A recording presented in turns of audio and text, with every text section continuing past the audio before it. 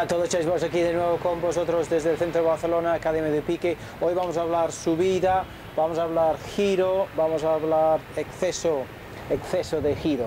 ¿Vale? Am, y las consecuencias que eso tiene para, para la bajada. ¿Vale? Am, Hace un- igual hace un par de semanas am, colgué, publiqué un vídeo sobre ayudas para, para girar en la subida. Ese es igual de, igual de relevante. Hay muchos jugadores que, que serie de, de, impedimentos físicos pues les cuesta, les cuesta girar. Y para todos aquellos jugadores todas las cosas que comentábamos desde la colocación inicial, a subir el talón izquierdo, etcétera, etcétera, son igual de relevantes.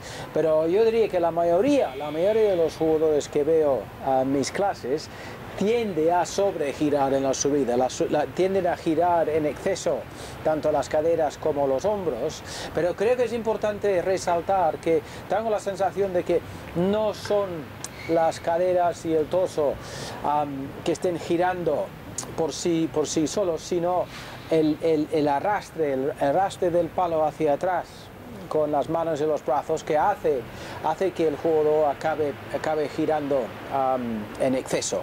Entonces, quería hablar, resaltar un poco hoy las consecuencias del, sobre, del sobregiro. Si un jugador sobregira en la subida y ¿Qué podría ser una definición?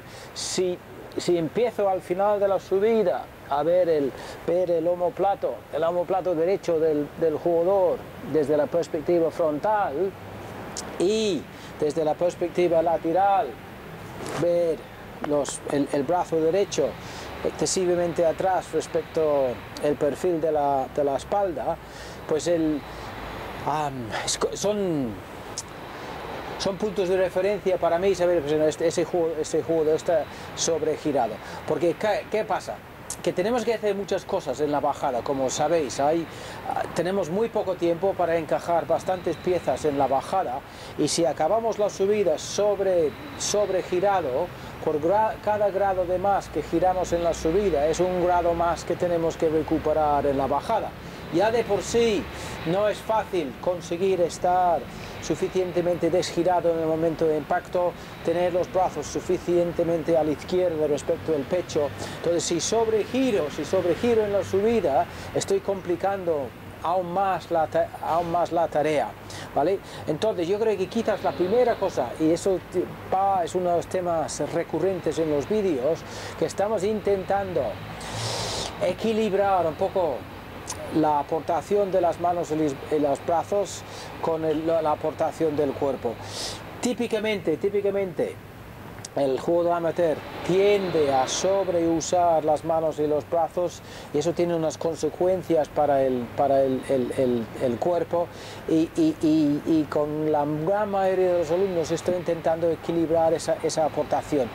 Típicamente es un ser más consciente de los músculos en el abdomen y su trabajo a lo largo de su vida y evi- evi- evitar, evitar que el, el- palo acabe excesivamente atrás por cosas que, que han hecho las manos y los brazos, lo cual, como he comentado antes, pues hace que el jugador tienda, tienda a girar excesivamente en, en la subida, ¿vale?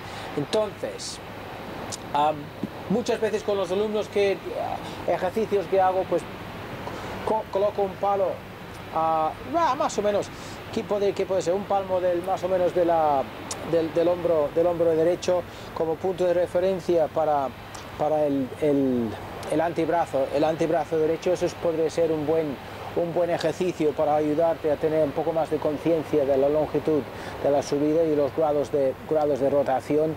Aquel ejercicio que uso mucho con los alumnos para ayudarles a, a ser un poco más conscientes de los músculos que, que estamos utilizando. Eso iría muy bien, se podría hacer con un palo en el suelo, luego con el palo en los hombros, giras hasta tener el, el palo aguantado en los hombros, alineado con el, el palo en el suelo. Saldré un momento de imagen para coger otro, otro palo.